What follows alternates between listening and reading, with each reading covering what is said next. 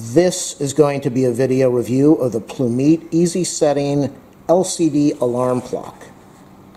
Has a sensor light, a bright light, a 5-inch display, 8-minute minimum snooze, a date display which will show the month and the day, and the ascending sound alarm clock. This is the clock. It has a 4-inch LCD display. This is the front of the alarm clock. Turn it over and we will put in the three AA batteries. The advantage of AA batteries is you should not have to replace these for about six months. So this clock will last a long time. On the top we have the snooze button and also the light switch.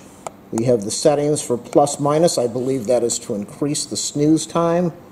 This is default right now. We have 12 a.m we have the alarm setting, the month, and the day. We have the button over here to turn the alarm on and off. We also have the alarm setting button over there.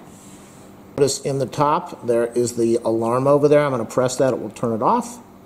I'm going to press it again, the alarm comes on.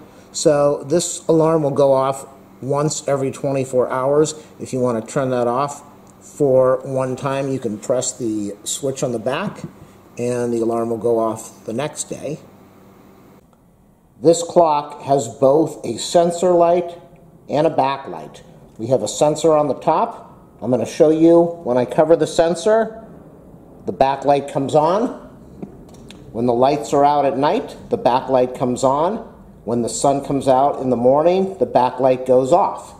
The second feature is you can press the backlight here, and that will stay on for about five, six seconds. You can press that again. And then we go back to the normal dim, and then when the light is on in the room, the backlight goes off.